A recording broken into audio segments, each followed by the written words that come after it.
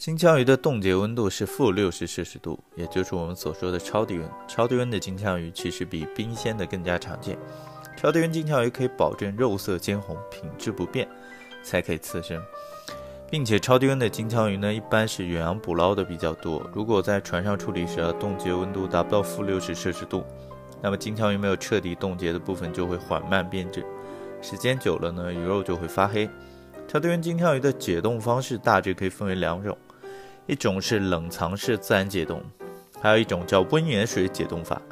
温盐水解冻法一般不推荐家庭使用，解冻不好的话呢，鱼肉就会变形。所以在家的话，还是把金枪鱼包裹厨房纸，放到冰箱冷藏室自然解冻就行了。但温度要尽可能的接近零度。鱼肉上面的锯末呢，用刀子轻轻刮去即可。再来补充说明一下，超低温金枪鱼在家里的冰箱是很难保存的。所以网购的超低温金枪鱼回来之后呢，一般都要尽快吃掉，不然也放不了多久的。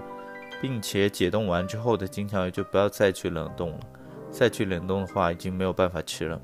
自己在家操作正确的话，基本上可以复原普通居酒屋的金枪鱼品质。